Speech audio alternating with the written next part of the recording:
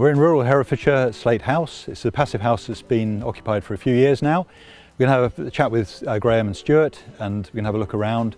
And very interesting, this particular example, how some of the design decisions made early on, how they influence the process.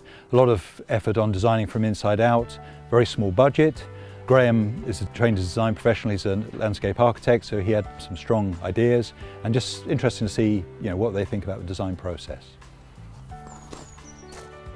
We live in a very uncertain world and this place, right from day one when we moved in, has just quietly got on and done its job. It's an absolute joy to come into this place on a bright, cold day in winter. You really feel the benefit of the, uh, of the passive solar gain. It's just really, really comfortable. Pretty much stable temperature most of the year, about 21 or something. If there is a downside, it's the fact that it's so comfortable.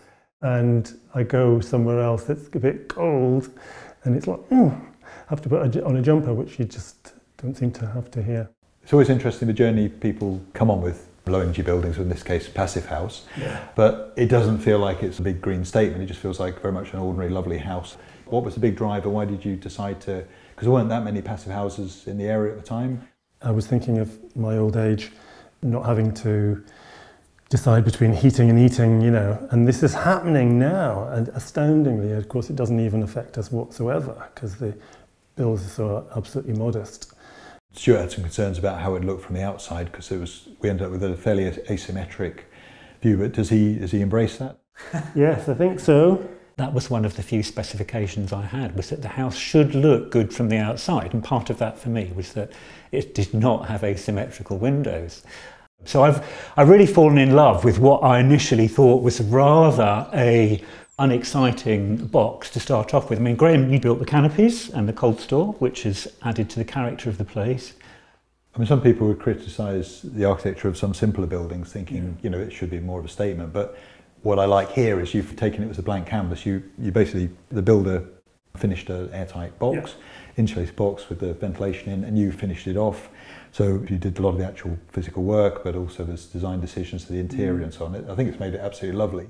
I hadn't realised that there were an infinite number of ways of dividing up a box, and I kind of got into that, and suddenly having dormer windows didn't seem important anymore. The ideas I had about architecture and building came from things that I watched on the television. It was quite interesting to kick off with Passive House because the design was very simple and all the time you were watching the budget, and I was possibly slightly fearful throughout how it might end up, because my solution would be this kind of smart look that you frequently see in a magazine, but it's ended up absolutely fantastic with a design which had asymmetrical windows. I love those asymmetrical I've grown to love them there. too, but I, am interested in this idea of design from the inside out, in that the reason those windows are in that place is because of the considered placement of those windows from the rooms within. No one at any point, as far as I remember, stood on the outside and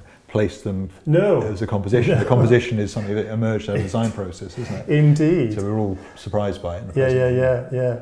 So we plonked that window just to get a view from the bed and it absolutely works. It frames the, the best view, view the in black, the house. It's nice. mountains. A, a long view, and this window too was designed as a long window because of the work surface and the washing up. It's quite a nice example because it doesn't open because you, would struggle yeah, yeah, to reach yeah, it. You've got other opening windows mm-hmm. in the same mm-hmm. room, and it just gives it a lovely, um, simple frame view. If you'd suddenly won the lottery and you'd had 10 million pounds to spend on this mm-hmm. building, would it have been a better building, or is some of what makes it lovely, and I think it is lovely, does that come from the constraints?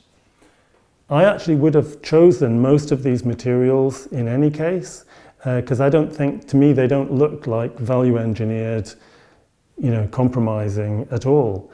Um, you know, I would have chosen this floor and I, I would have chosen the, the cladding and stuff like that. So The polished concrete floor, is a high value, low cost, mm. whereas cost cutting, it would be like if you put plastic vinyl down on yeah. the floor on a cheap screed or use click flooring or something, you know. So what I'm trying to get across is the difference between genuine value engineering, yeah. which is like things like the windows without extra frame and mullion, simple forms, sized right, simple building form, why would anyone do something that wasn't well, was- value for money in any No, case? I you know? it was a mystery to me as well.